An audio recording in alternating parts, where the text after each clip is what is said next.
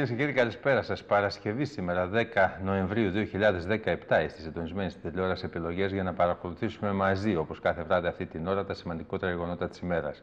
Μπορείτε πάντα να μας παρακολουθείτε από όλο τον κόσμο μέσα από το διαδίκτυο στη διεύθυνση επιλογέ.tv. Και να περάσουμε αμέσως στα θέματα της ημέρας. Ανατροπές έρχονται με νέο έγγραφο που έδαβε ο Δήμαρχος Εμμανουήλ Παπά, Δημήτρης Νότας, από την αστυνομική διεύθυνση Σερών σχετικά με την έδρα του νέου αστυνομικού τμήματος στο Δήμο Εμμανουήλ Παπά. Τα δύο προηγούμενα έγγραφα μιλούσαν για την ίδρυση του αστυνομικού τμήματος στο νέο σκοπό, ενώ το νέο έγγραφο τη μεταθέτει στην έδρα του Δήμου στο Χρυσό.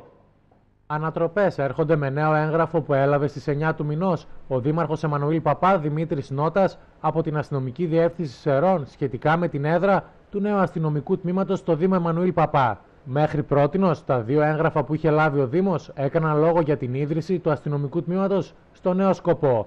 Ενώ το νέο έγγραφο προβλέπει την ίδρυση στην τοπική κοινότητα Χρυσού. Ε, μου ήρθε χθες ε, αργά το μεσημέρι ε, ε, ένα καινούριο έγγραφο από την ελληνική αστυνομία, από την αστυνομική διεύθυνση Σερών, με το οποίο καινούριο έγγραφο και με βάση κάποια ε, διαταγή οδηγία που πήρε ο αστυνομικός διευθυντής Σερών, ο κύριος ε, Γιώργος Παπαδόπουλος, ε, λέει πως τελικά ε, το αστυνομικό τμήμα με βάση αυτό το έγγραφο θα γίνει στο χρυσό και ότι δεν υφίσταται η προηγούμενη αλληλογραφία που υπήρχε μέχρι τώρα και ως εκ τούτου θα πρέπει να συνεδριάσει το Δημοτικό Συμβούλιο για να παραχωρήσει το κτίριο πλέον του χρυσού. Δηλαδή ε, το έγγραφο αυτό ε, ε, δημιουργεί καινούργια δεδομένα στην όλη υπόθεση της αναδιοργάνωσης και της ίδρυσης του καινούριου αστυνομικού τμήματος στον Δήμο Εμμανουήλ Παπά. Πριν από 15 ημέρες έκανα προσωπική επίσκεψη στον,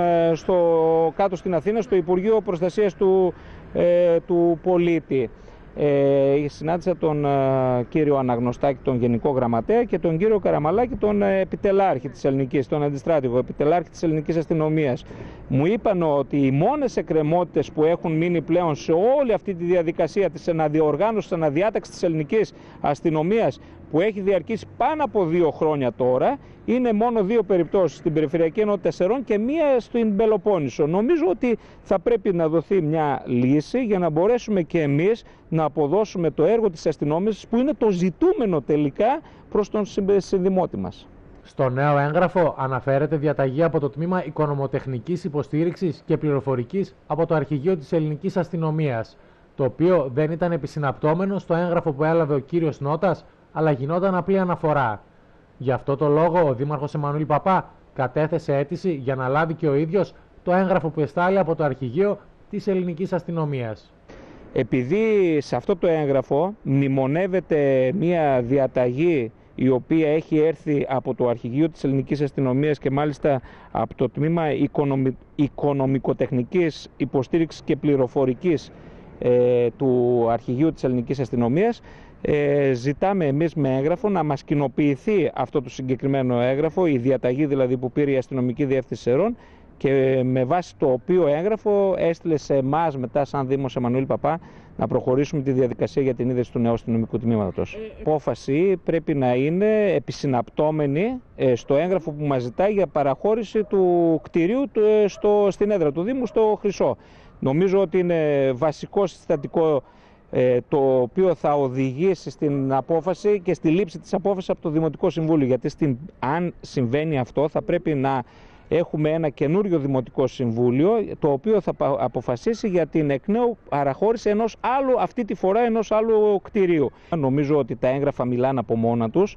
Έχουμε δύο έγγραφα της ελληνικής αστυνομίας που, που ζητάνε το κτίριο του νέου σκοπού και τώρα έχουμε ένα έγγραφο που ανατρέπει τα δύο προηγούμενα έγγραφα που είχε δώσει η ελληνική αστυνομία που ζητάει το κτίριο του Χρυσού.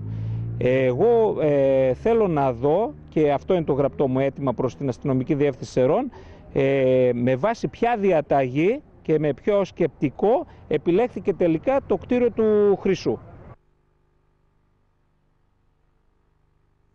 Να μείνουμε στο θέμα, κυρίες και κύριοι, και να καλησπέρισουμε τηλεφωνικά τον κύριο Βίρονα Μπάλτσιο, επικεφαλής της Μίζων Αντιπολίτευσης, να πούμε δύο λόγια για το πολυπόθητο αστυνομικό τμήμα στο Δήμο Εμμανουήλ Παπά. Καλησπέρα σας. Καλησπέρα κύριε Μασλαρινέ. Έρχεται τελικά. Κύριε Μπάλτσιο, το αστυνομικό τμήμα έρχεται τελικά στο Δήμο σας. Τώρα εσείς ξέρετε εκεί αν θα πάει πάνω, κάτω, σκοπό, χρυσό. Ε, ναι, ε, νομίζω ότι πλέον τελειώνει μια περιπέτεια να την ονομάσω έτσι γιατί παρότι το γεγονός ότι ψηφίστηκε εκδόθηκε το προεδρικό διάταγμα το οποίο ιδρύεται και το αστυνομικό τμήμα του, στο Δήμο Εμμανουήλ Παπά όπως και σε όλη τη χώρα και στο ίδιο εκείνο διάταγμα προέβλεπε ότι η έδρα του αστυνομικού τμήματος θα ήταν ο ομώνυμος Δήμος. Αυτή η λέξη ο ομώνυμος Δήμος ε, ε μετά από παρεμβάσεις και τα λοιπά έγινε ένα θέμα το οποίο ε, κάποιοι προσπάθησαν να αξιοποιήσουν και να δεστευρώσουν ουσιαστικά αυτό το οποίο ήταν ήδη αποφασισμένο από πλευράς Υπουργείου. Εν πάση περιπτώσει, ε, δεν έχει, ε, πιστέψτε με, δεν έχω, δεν έχω καμία διάθεση να, να πάω στο παρελθόν ούτε και να αποδώσω ευθύνες. Είναι βέβαιο και αποδεικνύεται από τα πράγματα ότι υπήρξαν άστοχες ενέργειες από την πλευρά της Δημοτικής Αρχής. Τέλος πάντων, ε, δεν πρέπει να παρεθεντολογούμε. Το θέμα έχει πλέον από ό,τι φαίνεται με βάση το έγγραφο που υπάρχει και τη διαταγή της αστυνομίας ε, έχει πλέον κλείσει. Κάτι το οποίο είχε ήδη ανακοινωθεί από τις 22 Ιουνίου το 2017 και, και σε μας έγινε γνωστό αλλά και στον Δήμαρχο από πλευράς αστυνομικής διεύθυνσης και αρχηγείου. Μάλιστα υπήρξε και επικοινωνία τότε με στελέχη του Υπουργείου για να δούμε τα τεχνικά στοιχεία που ζητούσαν, ε, ας πούμε πώς είναι τα ευρωζωνικά δίκτυα και όλα αυτά και τις παρεμβάσεις που να γίνουν στο κτίριο. Mm -hmm. Παρ' όλα αυτά υπήρξε από εκεί και μετά μια διαδικασία η οποία καθυστέρησε την ε, απόφαση αυτή που τελικά ήρθε στην αστυνομική διεύθυνση ΕΟΝ και την οποία επικαλείται άλλωστε το έγγραφο της αστυνομικής διεύθυνσης με το οποίο ζητάει να πάρει απόφαση το Δημοτικό Συμβούλιο και να παραχωρηθεί το κτίριο του πρώην Δημαρχείου του στο Χρυσό. Κάτι το οποίο φαντάζομαι ότι τις επόμενες ημέρες θα γίνει πράξη γιατί αν θέλουμε να έχουμε και να λειτουργήσει το αστυνομικό μας επιτέλους πρέπει να κλείσουν όλες οι εκκρεμότητες. Και νομίζω ότι το ζητούμενο είναι να λειτουργήσει το τμήμα. Το θέμα της, από ό,τι είδα το έγγραφο καθιερώνει και τον ε, τοπικό αστυνόμο, όπως τον ονομάζει, ο οποίος θα, θα είναι στην, ε, στο νέο σκοπό. Ε, και έτσι ε, νομίζω ότι θα υπάρχει και η κάλυψη εκεί σε, σε ένα επίπεδο από πλευράς ε, Δημοτικής Ενότητας Στριμώνα και νομίζω ότι πλέον θα μπούμε σε μια διαδικασία έτσι ώστε να λειτουργήσει το αστυνομικό τμήμα. Μάλιστα, μάλλον αυτό το έγγραφο δεν χρήζει ερμηνεών, ενώ ίσως τα προηγούμενα δεν ήταν τόσο ξεκάθαρα. Ναι, το έγγραφο λέει, μιλάει ξεκάθαρα, το έγγραφο το οποίο έρχεται από την αστυνομία και το οποίο επικαλείται το έγγραφο της, του αρχηγείου της αστυνομίας, με το οποίο καταλήγει τελικά το δικό μας έγγραφο εδώ της αστυνομικής διεύθυνσης, που λέει ότι ζητείται από την υπηρεσία απόφαση του Δημοτικού Συμβουλίου περί της παραχώρησης του οικήματος στη Δημοτική Κοινότητα Χρυσού, πρώην Δημαρχείου Χρυσού, επικυρωμένη από την οικία αποκεντρωμένη διοίκηση. Και στο δεύτερο στάδιο λέει και μετά από την σχετική ελληνογραφία ότι ιδρύεται και θα, θα λειτουργήσει ο θεσμός του τοπικού αστυνόμου στο δημοτικό, στη Δημοτική Κοινότητα Νέου Σκοπού, στο κτίριο του πρώην Δημαρχείου Νέου Σκοπού.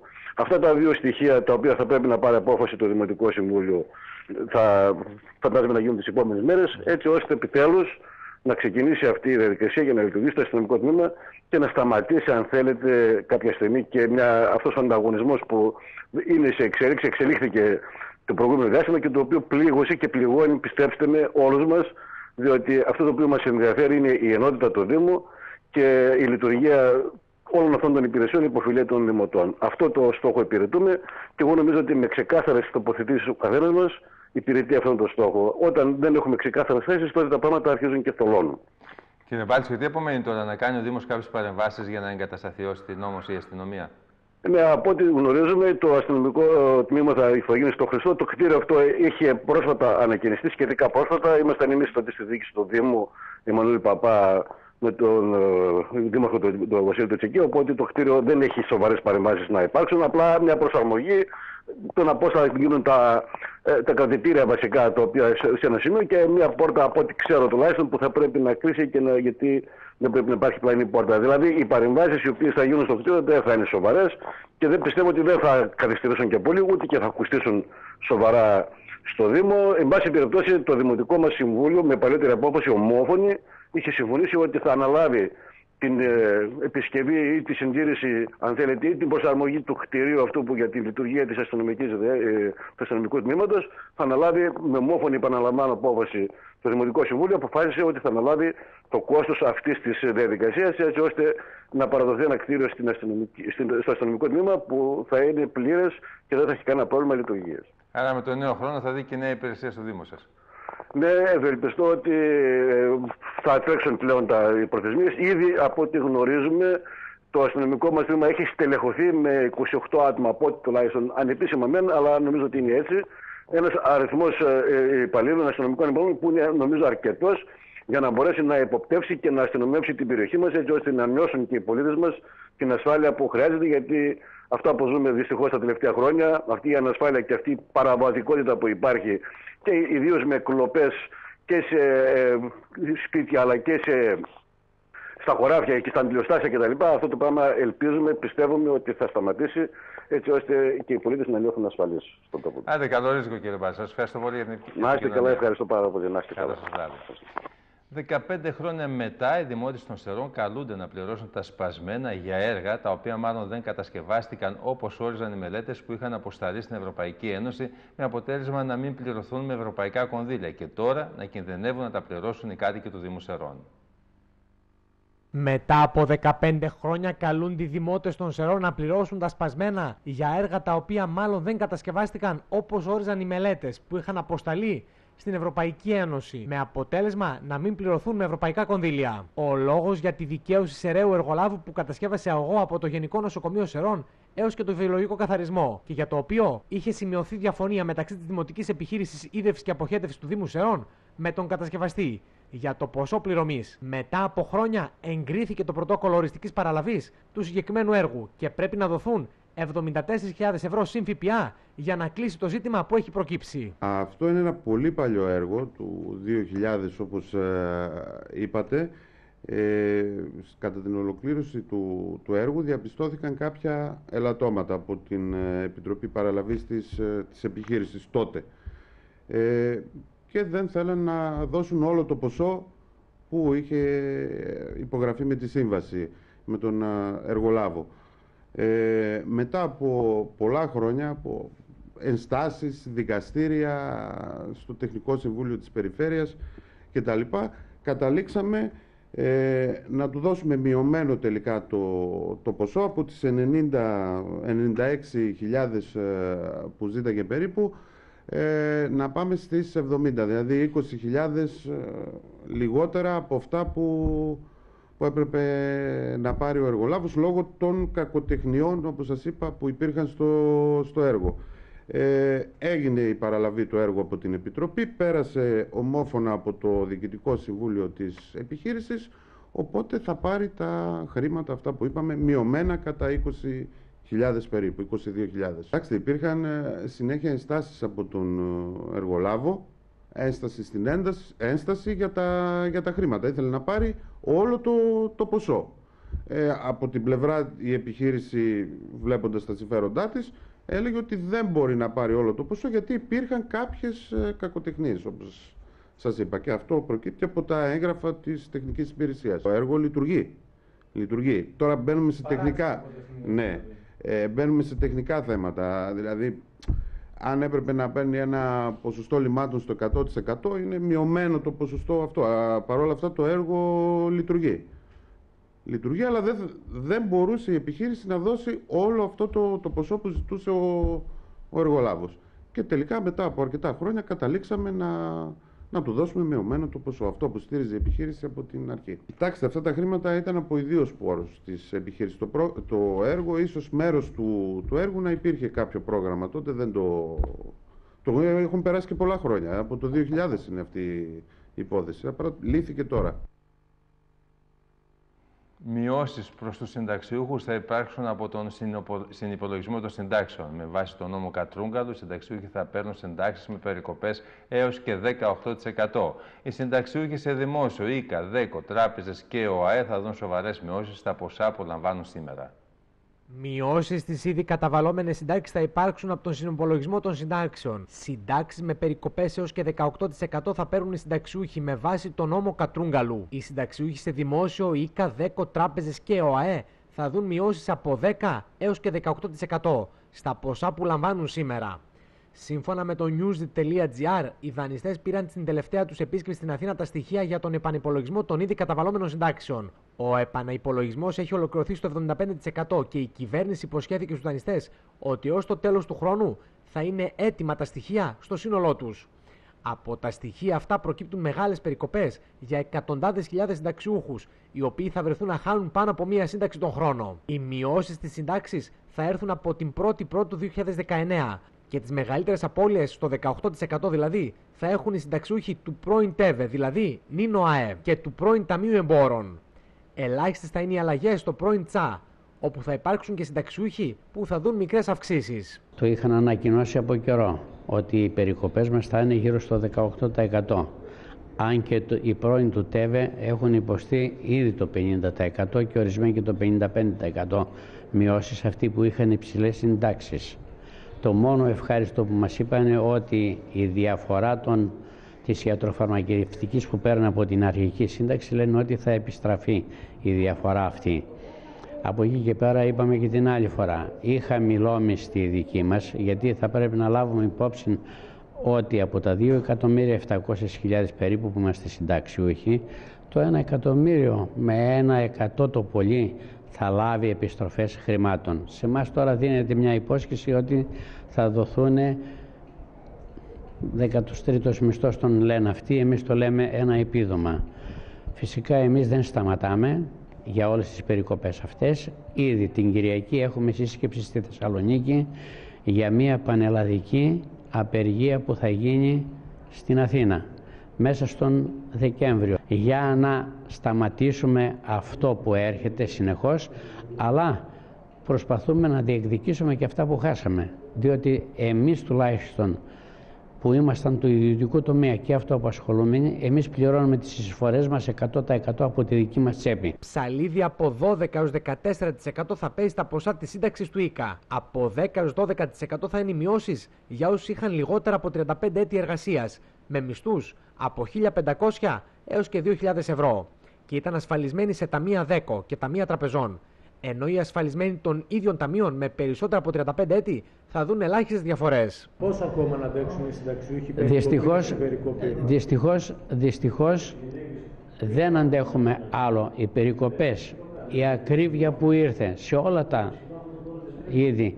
Έβλεπα προηγούμενα στην τηλεόραση τι αυξήσεις έχουν έρθει. Είτε είναι λάδια, είτε είναι τυροκομικά, είτε γαλακτοκομικά, είτε καφέδες κλπ. Όλα ανεβήκαν από 5 και από 6 και από 7%. Άρα λοιπόν πληρώνουμε τους φόρους μας, πληρώνουμε τον έμφυα, πληρώνουμε την ακρίβεια στα σούπερ μάρκετ και από την άλλη μεριά κόβονται οι μισθοί.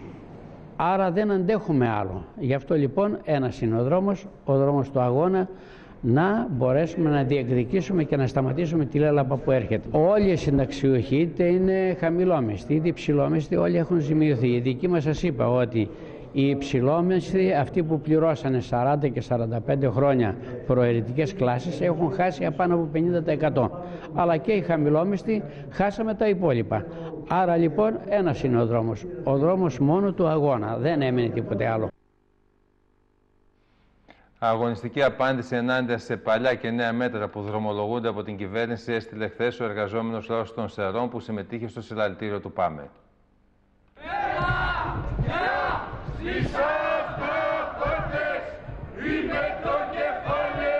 Αγωνιστική απάντηση ενάντια σε παλιά και νέα μέτρα που δρομολογούνται από την κυβέρνηση έστειλε χθες ο εργαζόμενος λαός των Σερών που συμμετείχε στο συλλαλητήριο του ΠΑΜΕ. Ο εργαζόμενος λαός, συσπηρωμένος με τις ταξικές δυνάμεις που πρωτοστατούν στη μάχη για να μπει φρένο στην ολομέτωπη επίθεση που δέχονται από την κυβέρνηση και την εργοδοσία, διαδήλωσαν την απόφασή τους να κλιμακώσουν την πάλη για την υπεράσπιση των δικαιωμάτων τους και για την ικανοποίηση των σύγχρονων αναγκών τους. Πρέπει να οργανώσουν και τον αγώνα των συλλογικών συμβάσεων εργασίας, ώστε οι ίδιοι εργαζόμενοι θα καθορίζουν το πλαίσιο, θα αποφεύγουν τις μικροποδιέ που μπορεί να βάζει εργοδοσία ή συμβιβασμένες συνδικαλιστικές ηγεσίες. Υπογραφή μιας νέας συλλογικής σύμβασης εργασίας. Όπως τόνισαν οι ομιλητές του ΠΑΜΕ, η τρίτη αξιολόγηση θα επιφέρει νέα βάρη στις πλάτες των εργαζομένων και των συνταξιούχων και θα φύγουν εργασιακά δικαιώματα. Με σοβαρότερο πλήγμα το δικαίωμα στην απεργία. Σήμερα είναι μια κινητοποίηση που διοργάνωσε το Πανεργατικό Αγωνιστικό Μέτωπο. Έχει να κάνει ουσιαστικά με την ε, τρίτη αξιολόγηση και κάνουμε ένα πλατύτερο και ευρύ κάλεσμα ουσιαστικά για μια ενδεχόμενη πανεργατική απεργιακή κινητοποίηση το αμέσως επόμενο διάστημα. Τρία νέα σημαντικά έργα με προπολογισμό κοντά στα 100 εκατομμύρια ευρώ θα χρηματοδοτήσει το Υπουργείο Οικονομίας στην περιφέρεια Ανατολικής Μακεδονίας και Θράκης. Τα έργα αφορούν κρίσιμες υποδομές στον τομέα των μεταφορών που βελτιώνουν τις πύλες εισόδου της Βόρειας Ελλάδας και διευκολύνουν σημαντικά το εμπόριο της περιοχής και της χώρας.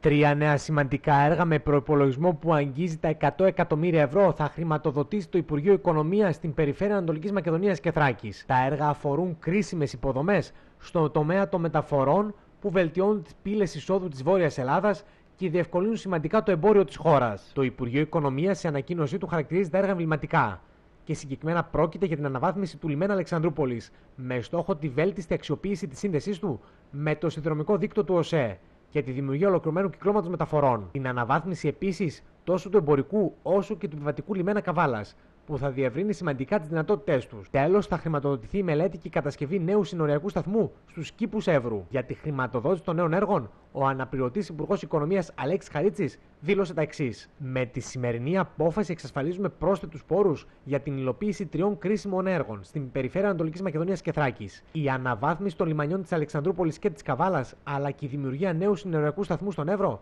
θα βελτιώσει ουσιαστικά τις εμπορικές σχέσεις της Ελλάδας με τα Βαλκάνια και την κεντρική Ευρώπη και θα στηρίξει αποφασιστικά στην τοπική παραγωγική δραστηριότητα.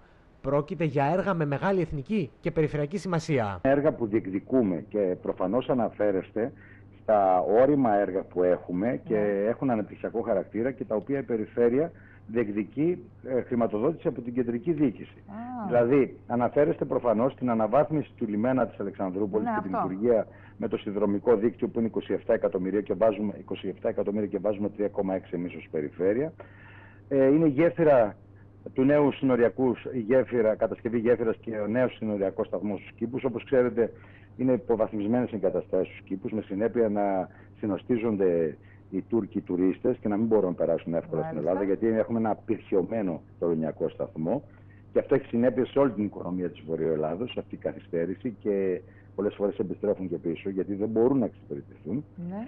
Ε, ε, ε, το άλλο έργο είναι η κατασκευή της ε, περιφερειακής οδού 55 εκατομμύρια ευρώ στην Αλεξανδρούπολη και η ηλεκτροκίνηση της δρομική γραμμής Αλεξανδρούπολη Ορμένο είναι 113 εκατομμύρια ευρώ. Σας λέω και όλα μαζί.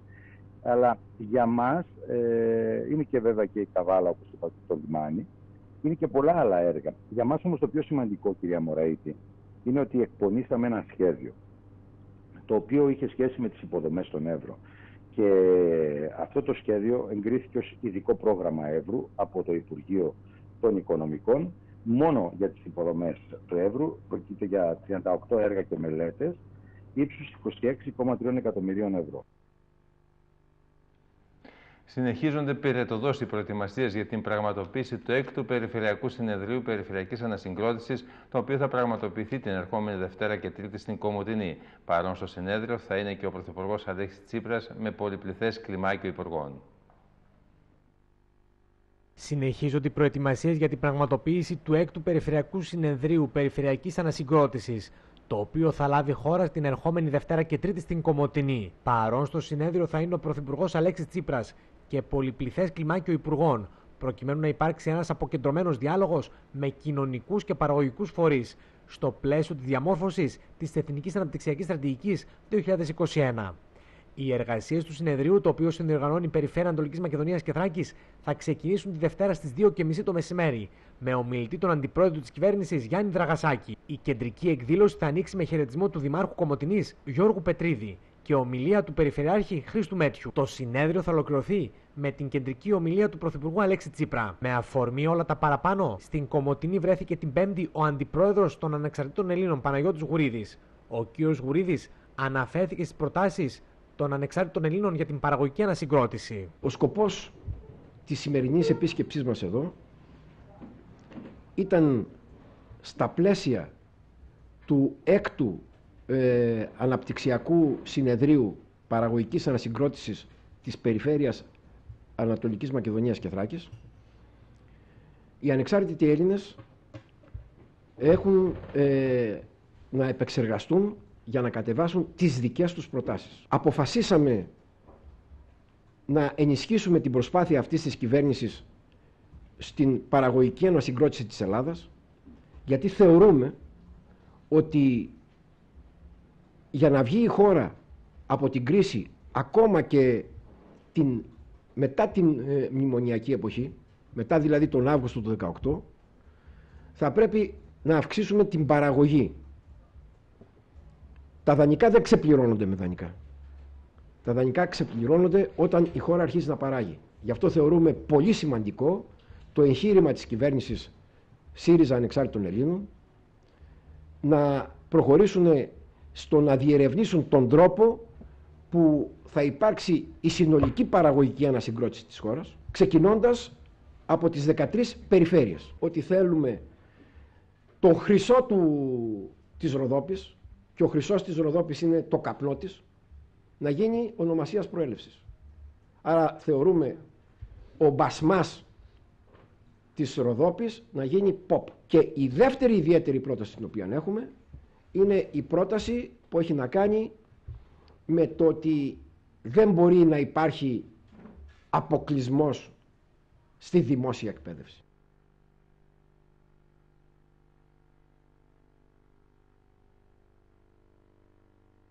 Φιλοξένια, 33η Διεθνής Έκθεση Τουρισμού, 10 με 12 Νοεμβρίου, στη ΔΕΔ. Βρείτε τα πάντα για τον τουρισμό στο σημαντικότερο σημείο συνάντησης του τουριστικού κλάδου. Παράλληλα με τη Διεθνή Έκθεση Ξενοδοχειακού Εξοπλισμού, Hotelier. Οργάνωση Χελέξπο. Η μάνα μου μου έλεγε: Η φέτα που βάζεις στο τραπέζι σου πρέπει να την έχεις δοκιμάσει. Να είναι από τόπο που ξέρεις. Δεν ξέρω τι άντρα θα παντρευτείς, αλλά τυρί πάρε από τον τόπο σου. Και είχε δίκιο. Γι' αυτό κι εγώ, όταν επιλέγω τυρί φέτα, επιλέγω φέτα κορυφή. Εξαιρετικά ισορροπημένη, μεστή γεύση από εγωπρόβιο γάλα που συλλέγεται καθημερινά από κοπάδια ελευθέρας βοσκής με μεγάλη φροντίδα. Μμμ, κορυφή! Να και μια φορά που η μάνα σου είχε δίκιο σε κάτι. Κορυφή! Στην κορυφή της διατροφικής αξίας και της προτίμησής σας. Κυρίε και κύριοι, όλα είναι έτοιμα για τις εκλογές στον υποσύσταση νέο φορέα της Κέντρου Αριστεράς, της Δημοκρατικής Συμπαράταξης, για την Κυριακή για τις εκλογές. Στη τηλεφωνική μας γραμμή είναι ο υπεύθυνος της Δυνατολογίας για τον νομό Σερών, ο, ο δικηγόρος, ο κύριος Αγγελίδης Πασχάλης, να μας πει περισσότερα. Καλησπέρα σας. Καλησπέρα κύριε Πασχαλινέ, σε εσάς και τους τηλεθέατες σας. Κύριε Αγγελίδη, από ό,τι φαίνεται έτοιμες οι 19, αν δεν κάνω λάθος, κάλπες των νομοσερών. Δεν κάνετε λάθος, πολύ σωστά. Πράγματι είναι έτοιμες και οι 19, οι εφορευτικές επιτροπές, οι χειριστές των ταμπλετών ηλεκτρονικών υπολογιστών. Η δοκιμή του συστήματος έγινε την προηγούμενη Κυριακή επιτυχημένα σε όλα τα τμήματα. Τώρα τεχνολογία και άνθρωποι μαζί θα συνεργαστούν, πιστεύω να πάνε όλα καλά, τυχόν με προβλήματα, πιστεύω ότι θα αντιμετωπιστούν. Ανθρώπινα είναι και αυτά μερικές φορές. Υπάρχουν και σενάρια ασφαλείας, έχουν δοκιμαστεί όλα, θα το δούμε. Από εκεί και πέρα πιστεύω ότι είναι η καλύτερη δυνατή οργάνωση και οργανώθηκαν τόσα τμήματα επειδή ο νομός μας από πλευράς αποστάσεων είναι δύσκολος, το ξέρουμε όλοι. Από τη μια άκρη του νομού τα σύνορα Κυλικής μέχρι στα σύνορα με Καβάλα δράμα είναι κάπου 160 χιλιόμετρα. Έτσι, έτσι. Και για να έχει την δυνατότητα πρόσβασης οποιοδήποτε πολίτης του νομού επιθυμεί να συμμετάσχει σε αυτή τη διαδικασία, κάναμε τμήματα ε, Ροδόπολη Πετρίτσι Σιδηρόκαστρο, Ηράκλεια Σκοτούσα, Προβατά, Σέρες 2 Σκούτερη, Νιγρίτα Μαυροθάλασσα Αχινό, Νέα Ζήχνη Δραβίσκο Αλιστράτη και Ροδολίβος Παλιοκόμη. Νομίζω ότι χωροταξικά κάναμε ό,τι μπορούσαμε καλύτερα. Να φανταστούμε πως πρόεδροι στις εφορευτικές επιτροπές είναι δικηγόροι παντού. Μόνο ένας. Μόνο ένας σε κάθε κάλπη εννοείται. Όχι, μόνο ένας στα 19 τμήματα θα είναι. Μόνο ένας, εσείς δηλαδή. Δικηγόρος. Ορίστε. Εσείς δηλαδή. Όχι, εγώ δεν θα είμαι πουθενά. Εγώ είμαι σε- επιβλέπω συντονιστή όλο τον νομό. Α, στις, στις, στις Μόνο κάλπες. στη εκεί Νέα πάνω. Ζήγνη θα είναι ο κύριος Στήλας. Είναι ο μόνος που δήλωσε εθελοντής. Ξε... Μην ξεχνάμε Μμμ. ότι όλα τα στελέχη, δηλαδή οι χειριστές των ταμπλετών και τα μέλη των εφορευτικών επιτροπών έχουν επιλεγεί από τη φόρμα εθελοντών όπου δήλωσαν όσοι ενδιαφέρονταν εθελοντικά να συμμετάσχουν. Δεν ε, διάλεξα εγώ όποιον ήθελα με δικιά μου πρωτοβουλία. Μάλιστα. Κα, καταλάβαμε, κατανόητο. Είναι όλοι εθελοντές Είναι δηλαδή. και αυτό μια αρχή διαφάνειας όπως λέει ο κύριος Αλυβιζάτος. Είναι όλοι εθελοντές λοιπόν. α, Είναι όλοι και που θα εθελοντές. κάνουν τις Είναι όλοι εκλογές. εθελοντές. Καλό είναι αυτό. Είναι ένα θετικό βήμα γιατί ο εθελοντισμός μας λείπει έτσι και αλλιώς ως α, λαό. Έχουν ε, δηλώσει κάπου 4.800 άτομα σε όλη τη χώρα μέχρι αυτή τη στιγμή.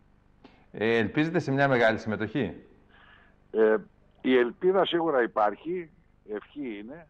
Όσο μεγαλύτερη τόσο πιο δημοκρατικότερη θα έλεγε κανείς, αλλά και τόσο μεγαλύτερη αντιπροσωπευτικότητα. ε, αλλά εκτίμηση δεν μπορώ να κάνω, δυστυχώς. Να πούμε λίγο ποιες ώρες μπορεί ο κόσμος να ψηφίζει. Λοιπόν, ε, από τις 8 το πρωί μέχρι τις 8 το βράδυ, ε, όπου υπάρξει ανάγκη, αν υπάρχει ας πούμε κόσμος που περιμένει απ' έξω και δεν έχει προλάβει μέχρι τις 8, μπορεί η Εφορευτική Επιτροπή να παρατείνει τη διάρκεια της ψηφοφορίας ε, και μπορεί ο καθένας να ψηφίσει σε οποιοδήποτε από τα εκλογικά τμήματα που υπάρχουν σε όλη τη χώρα, τα κάπου 900. Δεν είναι απαραίτητο να πάει στο χωριό του ή εκεί που είναι γραμμένος. Η διαδικασία είναι απλή. Θα προσέρχεται, θα συμπληρώνει την ε, δήλωση συμμετοχής του στην ψηφοφορία. Θα, έχουμε δύο δηλώσεις τώρα, σας διακόπτω. Θα έχουμε δύο ναι, δηλώσει. Θα σας πω τώρα. Ε, θα πληρώνει και τα 3 ευρώ που είναι η συμβολή εισφορά για την αντιμετώπιση των δαπανών.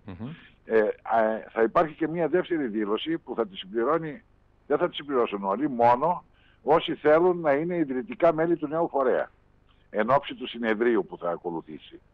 Ε, βλέπετε η πρωτοτυπία, τουλάχιστον ελληνική αν όχι παγκόσμια, είναι μια διαδικασία σε αυτό το εγχείρημα. Ε, πρώτα θα εκλεγεί ο επικεφαλής και στη συνέχεια θα γίνει η ίδρυση του κόμματος.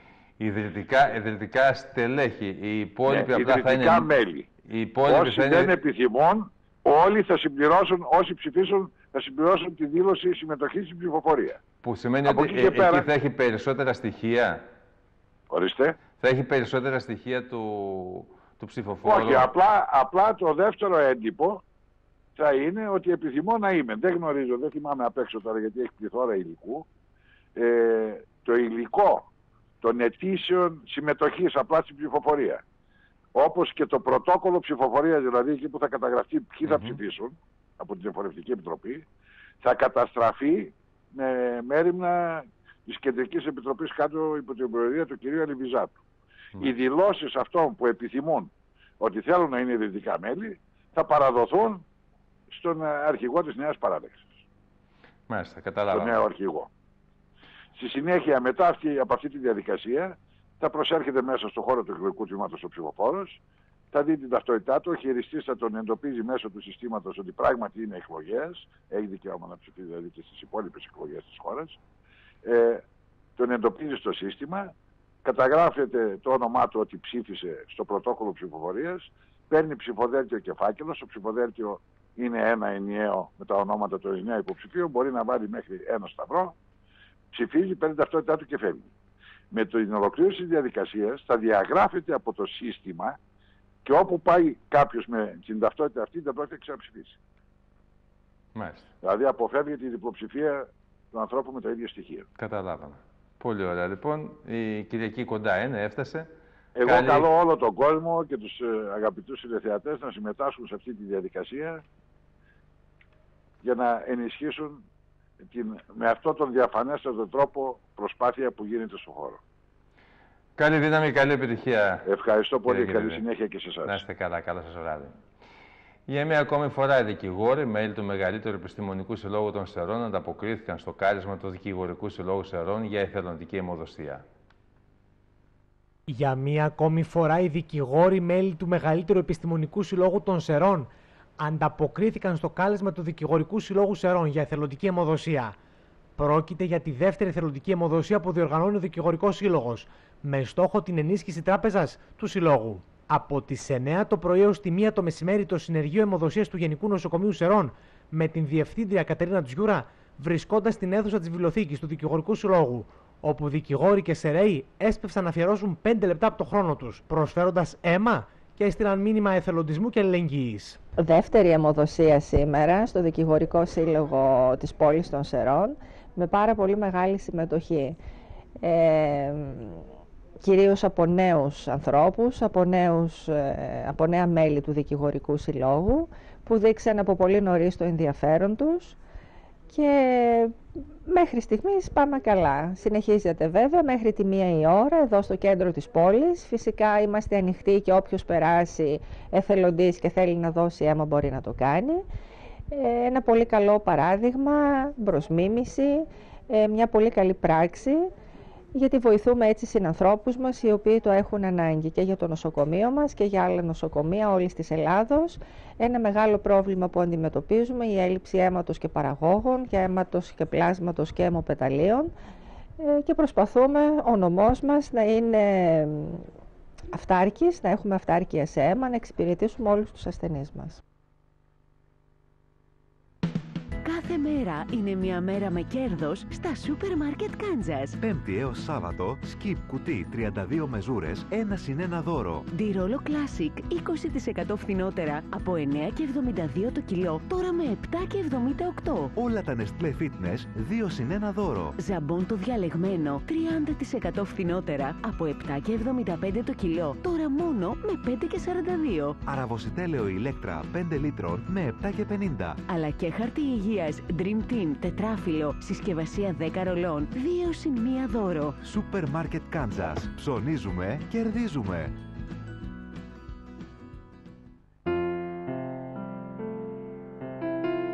Όταν καταφέρνεις να κάνεις τους ανθρώπους γύρω σου που έχουν ανάγκη να νιώθουν μέρος μιας μεγάλης οικογένειας, τότε μπορείς να καταφέρεις πολλά. Γι' αυτό, αγοράζοντας τα αγαπημένα σας προϊόντα, το διαλεγμένο και Dream από τα καταστήματα Κάντζας, καταφέρνουμε όλοι μαζί να στηρίξουμε το έργο του κοινωνικού συσιτίου το πρόσφορο που εδώ και χρόνια εμείς στα καταστήματα Κάντζας αγκαλιάζουμε καθημερινά με αγάπη. Μέρος των εσόδων θα διατεθεί για την εξασφάλιση επιπλέων γευμάτων αγάπης σε οικογένειες και παιδιά που έχουν πραγματικά ανάγκη. Γίνε και εσύ κομμάτι αυτής της προσπάθειας. Μία προσφορά αγάπης από όλους μας. Σούπερ Μάρκετ Κάντζας. Η ανθρώπινη δύναμη.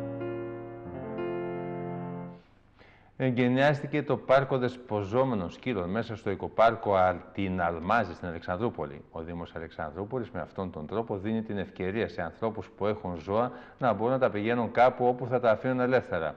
Το πάρκο είναι περιφραγμένο με ψηλή περίφραξη από την οποία είναι αδύνατο να διαφύγει το σκυλί, αλλά και για να είναι ασφαλή τα ζώα μέσα σε αυτό.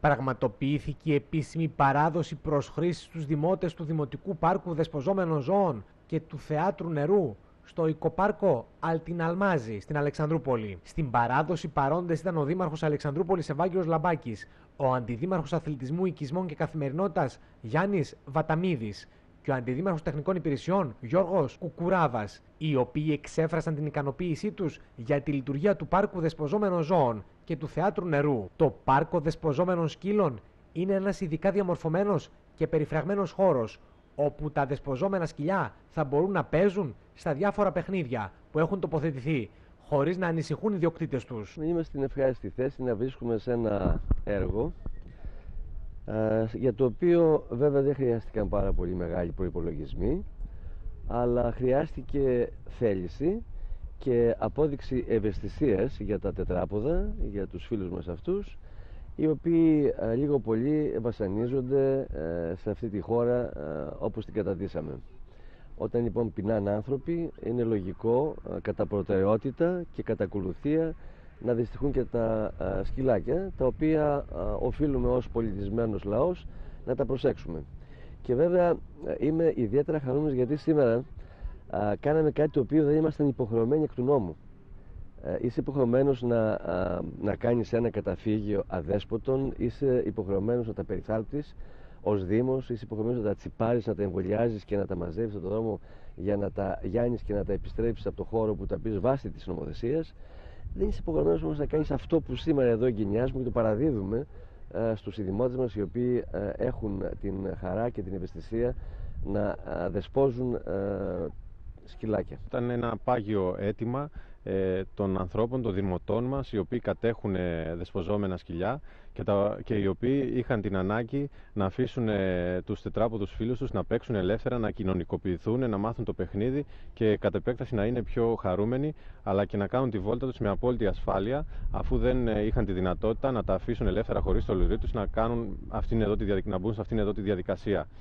Ε, σαφώς και υπάρχει η βούληση εφόσον υπάρχει ανάγκη ε, να επεκταθεί αυτό το πάρκο αργότερα και φυσικά εφόσον ζητηθεί και από άλλους δημότες και επειδή η πόλη μας συνεχώς αυξάνεται και τα τελευταία χρόνια παρουσιάζει έτσι αυξητικές τάσεις όσον αφορά την έκτασή της και τον πληθυσμό της, να δούμε σε επόμενο διάστημα τη δημιουργία και άλλων πάρκων τέτοιων μέσα στους επόμενους μήνες. Ε, όπως θα μπορείτε να διαπιστώσετε υπάρχουν κάποια παιχνίδια μέσα σε αυτό το πάρκο το οποίο έχει έκταση μισό στρέμμα ακριβώς ε, υπάρχουν κάποια παιχνίδια, σύντομα θα τοποθετηθεί και μια πινακίδα η οποία θα θέτει ακριβώς τους κανόνες ε, βάσει των οποίων θα γίνεται, θα επιτρέπεται είσοδος μέσα σε αυτό το πάρκο. Υπάρχουν φυσικά και οι δημοτικοί μας υπάλληλοι που θα επιβλέπουν εδώ τη διαδικασία και θα δούμε και σε δεύτερη φάση αν χρειαστεί να χρησιμοποιήσουμε και άλλα μέσα ώστε να παρακολουθούμε τη λειτουργία του, την εύρυθμη κατά κύριο λόγο λειτουργία του.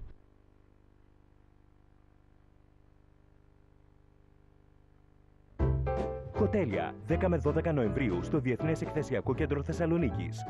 Βρείτε τα πάντα για το ξενοδοχείο και την εστίαση στη Διεθνή Έκθεση Ξενοδοχειακού Εξοπλισμού. Παράλληλα με τη Διεθνή Έκθεση Τουρισμού Φιλοξένια. Οργάνωση Χελέξπο. Πεινάω. Και το φαΐ τελείωσε. Πάρε το μεγάλο να παραγγείλει. Delivery. Θέλω να παραγγείλω. Επειδή και τα ζωάκια έχουν ψυχή. Το Λασπάρτας παίρνει με ένα τηλεφώνημά σας στο 23210 52090 όλα του τα είδη για τα κατοικίδια σας στην πόρτα σας. Ενημερωθείτε τώρα για όλες τις προσφορές μας στα καταστήματά μας. Μεγάλο Αλεξάνδρου 46 και Βενιζέλου 105Β ή επισκεφτείτε την ιστοσελίδα μας www.laspalmas.gr Las Palmas. Τα πάντα για τα κατοικίδια σας.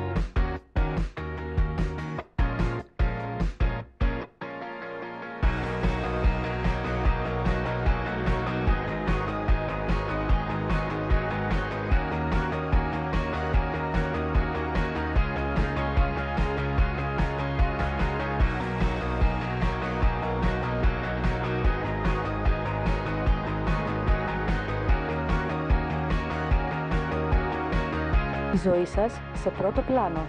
Πλάνο Στούντιο. Εθνικής Αντίστασης 13. Αυτές κυρίες και κύριοι είναι σημαντικότερες της ημέρας από την τηλεόραση επιλογές. Αγαπητοί τηλεθεατές, από όλους εμάς, καλό βράδυ και καλό Σαββατοκύριακο.